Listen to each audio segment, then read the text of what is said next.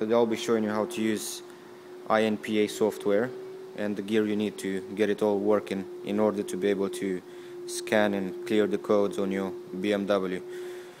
Today I'll be doing an example on an E36 M3. So first of all I'll be showing you the tools I have.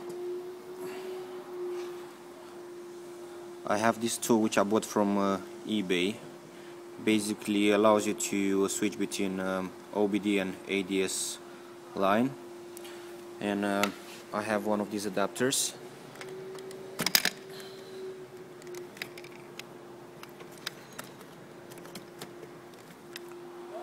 Which is connected here. And another 9 pin uh, extension lead which goes at the back of the laptop To get this working you will need a laptop which has one of these ports. Any sort of adapters to be used in the meantime. It won't work.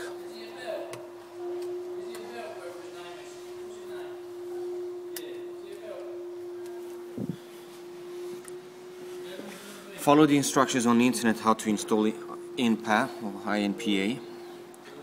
In order to uh, switch between uh, OBD and ADS, which can be done from here also has to be done on the software.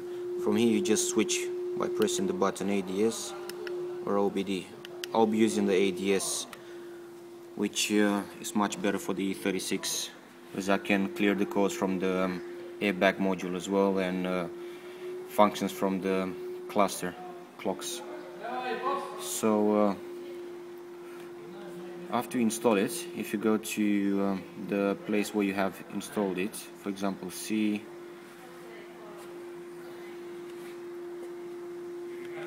that folder and then there's a folder called bin. And then you'll go to a file which is called ediabas.ini you open that file and halfway down there's a place where you can change. If you look here this is what you should write. Std.ads top and bottom. If you want to switch between ADS and OBD you just erase it backspace use backspace write with capital letters OBD and the second one as well. And then you just exit it and you save it. But as I said in my case I'll want to use the ADS line. So I'll change it back to ADS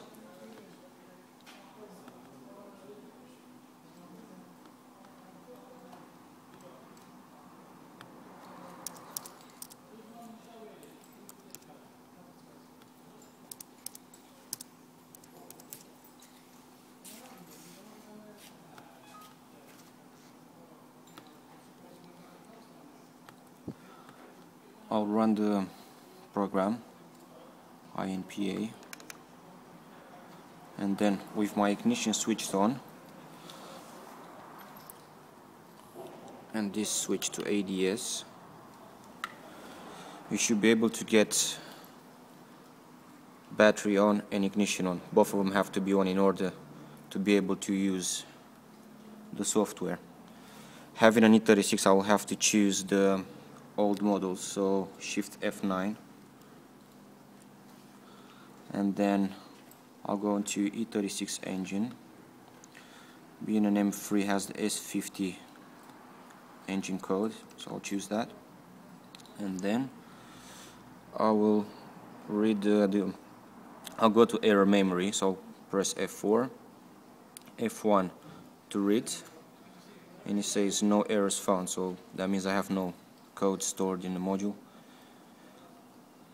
In case if you want to clear it, you just click F2 and that will clear it. There's uh, other things that you can do as well with this software. For example, I'll start the car up.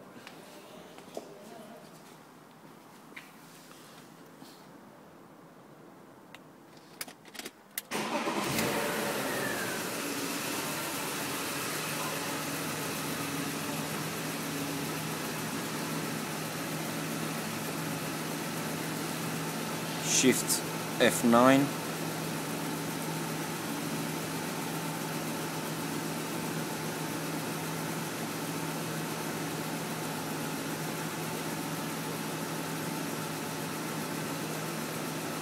I can uh, I've clicked F5 and I can read digital values. For example it will show me battery voltage and all other stuff